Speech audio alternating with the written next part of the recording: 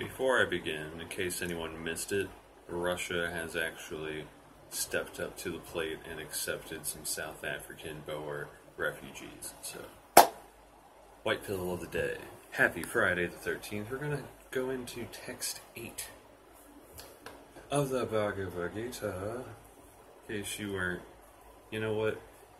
It would it would be really nice if it was just in a little playlist or something and it just went right through. Yeah, well, you you came to the wrong place for high production value, buddy. Translation. I can find no means to drive away this grief which is drying up my senses. I will not be able to dispel it even if I win a prosperous, unrivaled kingdom on earth with sovereignty like the demigods in heaven. Fort. Although Arjuna was putting forward so many arguments based on knowledge of the principles of religion and moral codes, it appears that he was unable to solve his real problem without the help of the spiritual master, Lord Sri Krishna. He could understand that so-called knowledge was useless in driving away his problems, which were drying up his whole existence, and it was impossible for him to solve such perplexities without the help of a spiritual master like Lord Krishna. Academic knowledge, scholarship, high position, etc. are all useless in solving the problems of life. Help can be given only by a spiritual master like Krishna, therefore the conclusion is that a spiritual master who is 100% Krishna conscious is the bona fide spiritual master, for he can solve the problems of life. Lord Caitanya, Caitanya, Caitanya said that one who is master in the science of Krishna consciousness, regardless of his social position, is the real social master excuse me, spiritual master. Kiba Vipra, Kiba Nyasi Suga, Kinayaya, Yay Krishna, Tatva, Tatva Vetya Sai Guru Heya. It does not matter whether a person is a Vipra, learned scholar in Vedic wisdom, or is born in a lower family, or is in the renounced order of life, if he is a master of the science of Krishna. He is the perfect and bona fide spiritual master. Caitanya, Car, Kari, Karita, Karitam, Karitarita, Karitarita, Caitanya Karitarita Madhya, 8.128. So without being a master in the science of Krishna consciousness, no one is a bona fide spiritual master. It is also said in Vedic literature, a scholarly Brahm, Brahmana, expert in all subjects of Vedic knowledge, is unfit to become a spiritual master without being a a Vaisnava. Vaisnava. Without being a Vaisnava. A Vaisnava. Or expert in the science of Krishna, Krishna consciousness. But a person born in a family of a lower caste can become a spiritual master if he is a Vaisnava or Krishna conscious. Padma Purana. The problems of material existence, birth, old age, disease, and death cannot be eh, cannot be counteracted by accumulation of wealth and economic development. In many parts of the world, there are states which are replete with all facilities of, excuse me, faculties of life, which are full of wealth and economically developed, yet the problems of material existence are still present. They are seeking peace in different ways, but they can achieve real happiness only if they consult Krishna or the Bhagavad Gita and the Srimad Bhagavatam, which constitutes the science of Krishna. Through the bona fide representative of Krishna, the man in Krishna consciousness. If economic development and material comforts could drive away one's lamentations for family, social, national, or international uh, then Arjuna would not have said that even an unrivaled kingdom on earth or supremacy like that of the demigods and the heavenly planets would be unable to drive away his, his lamentations. He sought, therefore, refuge in Krishna consciousness, and that it is the right path for peace and harmony. Economic development or supremacy over the world can be finished at any moment by the cataclysms of material nature even elevation into a higher planetary situation, as men are now seeking on the moon planet, can also be finished at one stroke, in one stroke. Hmm? At one stroke. Can also be finished at one stroke. The Bhagavad Gita confirms this. Skine punye martya lokam vis vis, ah, Vaisanti. When the results of pious activities are finished, one falls down again from the peak of happiness to the lowest states of life, status of life. Many politicians of the world have fallen down in that way. Such downfalls only constitute more causes for lamentation. Therefore, if we want to curb lamentation for good, then we have to take shelter of Krishna, as Arjuna is seeking to do. So Arjuna asked Krishna to solve his problem definitely, and that it is the way of Krishna consciousness.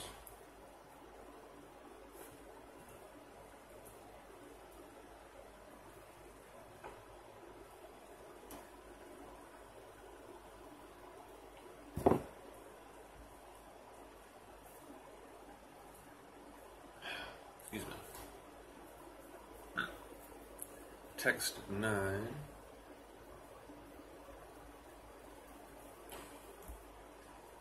Sanjaya said, having spoken thus, Arjuna, chastiser of enemies, told Krishna, Govinda, I shall not fight, and fell silent. Purport Dhritarashtra, Dhritarashtra must have been very glad to understand that Arjuna was not going to fight and was instead leaving the battlefield for the begging profession. But Sanjaya disappointed him again in relating that Arjuna was competent to kill his enemies. Excuse me. Pa, er, Parantapa, Parantapa. I don't know, or or is it Par Parantapa? Nah, I- Although Arjuna was, for the time being, overwhelmed with false grief due to family affection, he surrendered unto Krishna, the supreme spiritual master, as a disciple. This indicated that he would soon be free from the false lamentations resulting from family affection, and would be enlightened with perfect knowledge of self realization,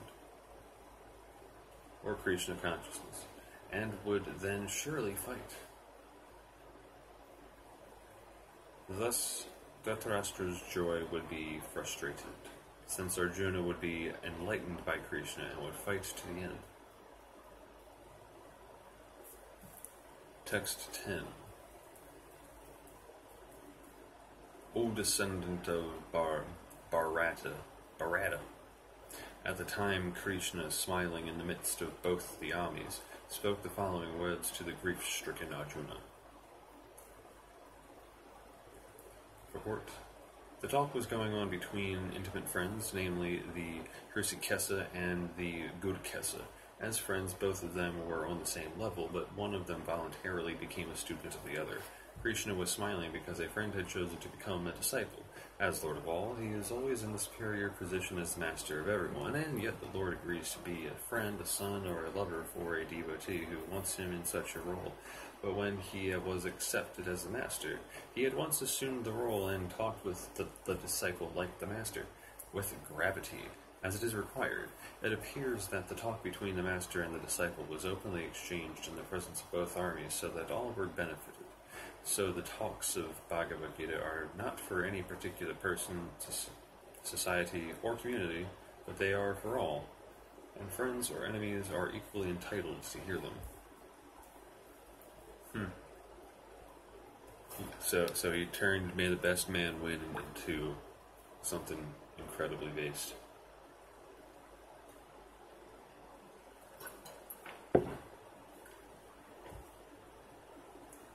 Text eleven.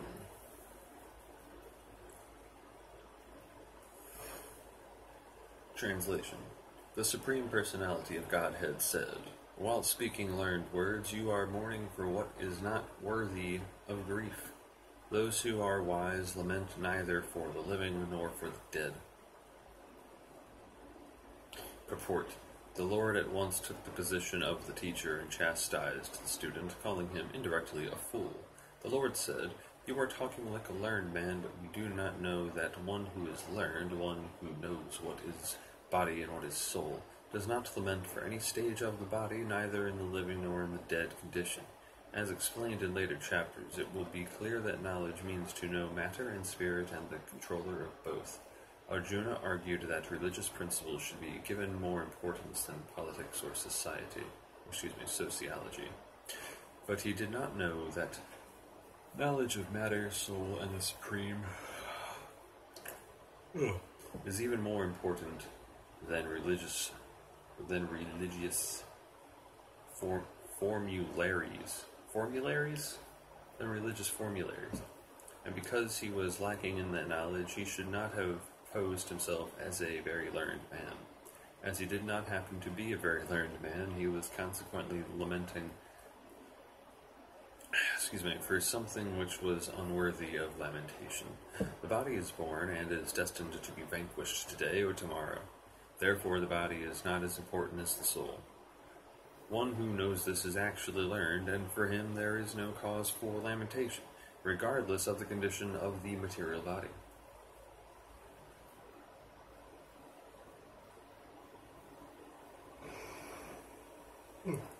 Text 12. Translation Never was there a time when I did not exist, nor you, nor all these kings, nor in the future shall any of us cease to be. Purport In the Vedas, in the Katha Upanishad, as well as in the uh, Svetasvatara Upanishads, Upan, Upanishad, is that what the dot under the S is for? SH? Okay. People usually pronounce that Upanishad. It is said that the Supreme Personality of God. Oh, fuck. It is said that the Supreme Personality of Godhead is the maintainer of innumerable living entities. In terms of their indifferent situations according to individual work and reaction of, of work, that supreme personality of Godhead is also by his planetary portions, pl- plenary, plenary portions. What is plenary? Alive in the heart of every living entity. Only saintly persons who can see within and without the same Supreme Lord can actually attain to perfect and eternal peace.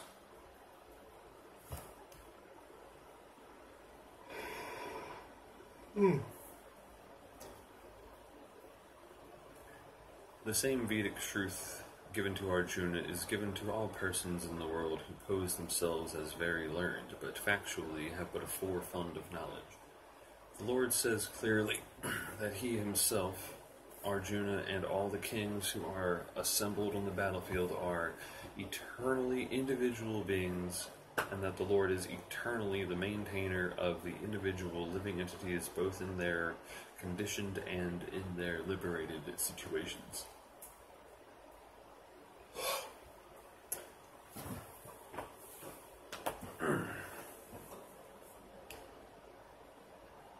The Supreme Personality of Godhead is the supreme individual person, and Arjuna, the Lord's eternal associate, and all the kings assembled there are individual eternal persons. It is not that they did not exist as individuals in the past, and it is not that they will not remain eternal persons. Their individuality existed in the past, and their individuality will continue in the future, without interruption. Therefore, there is no cause for lamentation for anyone. Excuse me. The Mayavadi theory that after liberation the individual soul separated by the covering of Maya or illusion will merge into the impersonal Brahman and lose its individual existence is not supported herein by Lord Krishna, the supreme authority. While Maya is all about that that uh, illusion, so that, that, that makes sense. the supreme authority nor is the theory that we only think of individuality in the conditioned state supported herein. Krishna clearly says herein that in the future, also, also the individuality of the Lord and others, as it is confirmed in the Upanishads, will continue eternally. God, God damn it. Krishna clearly says herein that in the future also the individuality of the Lord and others, as it is confirmed in the Upanishads, will continue eternally. This statement of Krishna's is authoritative because Krishna cannot be subject to illusion. If individuality were not a fact, then Krishna would not have stressed it so much, even for the future. The Mayavadi may argue that the individuality spoken of by Krishna is not spiritual but material. Even accepting the argument that the individuality is material, then how can one distinguish Krishna's individuality? Krishna affirms his individuality in the past and confirms his individuality in the future also. He has also confirmed his individuality in many ways, and impersonal Brahman has been declared to be subordinate to him. Krishna has maintained spiritual individuality all along. If he is accepted as an ordinary conditioned soul and individual consciousness, then his Bhagavad Gita has no value as authoritative scripture. A common man with all the four defects of human frailty is unable to teach that which is worth hearing. The Gita is above such literature. No mundane book compares with the Bhagavad Gita. When one accepts Krishna as an ordinary man, the Gita loses all importance. The argues that the the plu, the pluar, plu, plu, plurality mentioned in this verse is conventional, and that it refers to the body. But previous to this verse, such a bodily conception is already condemned. After condemning the bodily conception of the living entities, how was it possible for Krishna to place a conventional proportion on the body again? Therefore, individuality is maintained on spiritual grounds and is thus confirmed by great acharyas like Sri Ramanuja and others. It is clearly mentioned in many places in the Gita that the spiritual individuality is understood by those who are devotees of the Lord. Those who are envious of Krishna as the Supreme Personality of Godhead have no bona fide access to the great literature. The non devotee's approach to the teachings of the Gita is something like that of a bee licking on a bottle of honey. One cannot have a taste of honey unless one opens the bottle. Similarly, the mysticism of the Bhagavad Gita can be understood only by devotees, and no one else can taste it. As it is stated in the fourth chapter of the book, nor can the Gita be touched by persons who envy the very existence of the Lord. Therefore, the Mayavadi explanation of the Gita is a most misleading presentation of the whole truth. Lord Caitanya has forbidden us to read comment, commentations made by the Mayavadis and warns that one who takes to such an understanding of the Mayavadi philosophy loses all power to understand the real mystery of the Gita. If individuality refers to the empirical universe, then there is no need of teaching by the Lord. The plurality of the individual soul and of the Lord is an eternal fact, and it is confirmed by the Vedas as above mentioned two more minutes Let's see what we can do about text 13 on Friday the 13th. Oh yeah, set at 1818 because reasons. Translation. As the embodied soul continuously passes in this body from boyhood to the youth to old age, the soul similarly passes into another body at death. A sober person is not to be bewildered by such a change Purport. Since every living entity is an individual soul, each is changing his body every moment, manifesting sometimes as a child, sometimes as a youth, sometimes as an old man. Yet the same spirit soul is there and does not undergo any change. This individual soul finally changes the body at death and transmigrates to a, another body. I have some interesting thoughts on that. And since since it is sure to have another body in the next birth, either material or spiritual, there was no cause for lamentation by Arjuna on account of death, neither for Bhisma nor for Drona, for whom he was so much concerned. Rather, he should rejoice for their changing bodies from old to new ones, thereby rejuvenating their energy. Such changes of body account for for varieties of enjoyment or suffering.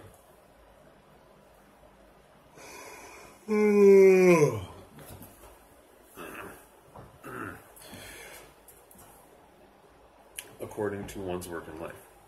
So Bhisma and Drona, being noble souls, were surely going to have spiritual bodies in the next life, or at least life in heavenly bodies for superior enjoyment of material existence. So, in either case, there was no cause for lamentation. Any man who has perfect knowledge of the constitution of the individual soul, the supersoul, and nature, both material and spiritual, is called uh, dhira, or a most sober man. Such a man is never deluded by the change of bodies. Hmm. The Mayavadi theory of oneness of the spirit soul cannot be entertained on the ground that the spirit soul cannot be cut into pieces as a fragmental portion. Such cutting into different individual souls would make the supreme cleavable or changeable against the principle of the supreme soul's being uh, supreme souls being unchangeable. I think I would have spelled it differently. Maybe I said it wrong. As confirmed in the Gita, the fragmental portions of the supreme. Ex- nah. As confirmed in the Gita, the fragmental portions of the supreme exist eternally, sanatana, and are called kasara. That is, they have a tendency to fall down into material nature. These fragmental portions are eternally so, and even after liberation, the individual soul remains the same, fragmental. But once liberated, he lives an eternal life in bliss and knowledge with the personality of Godhead. The theory of reflection can be applied to the supersoul, who is present in each and every individual body and is known as the Paramatma. He is different from the individual living entity. When the sky is reflected in water, the reflections represent both the sun and the moon and the stars also. The stars can be compared to the living entities, and the sun and the moon to the Supreme Lord. The individual fragmental spirit soul is represented by Arjuna. And the Supreme Soul is the personality of Godhead Sri Krishna. They are not on the same level. As it will be apparent in the beginning of the fourth chapter, if Arjuna is on the same level with Krishna and Krishna is not superior to Arjuna, then the relationship of instructor and instructed becomes meaningless. If both of them are diluted by the illusory, illu, illusory energy, Maya, what I just said, then there is no need for one being the instructor and the other the instructed. Hmm. Teaching someone something is just trying to get them to remember something.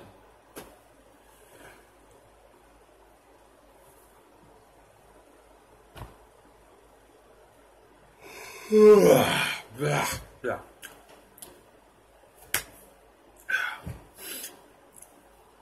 Such instruction would be useless because, in the clutches of Maya, no one can be an authoritative instructor.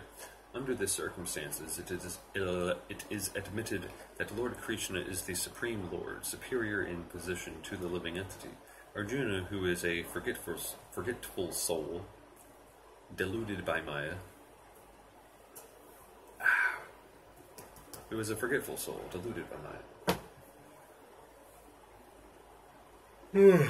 Oh, alright, let's not make this more painful than it's supposed to be. We're over our 20 minute mark, and that was text 13 of chapter 2. Hope to see you in the futures.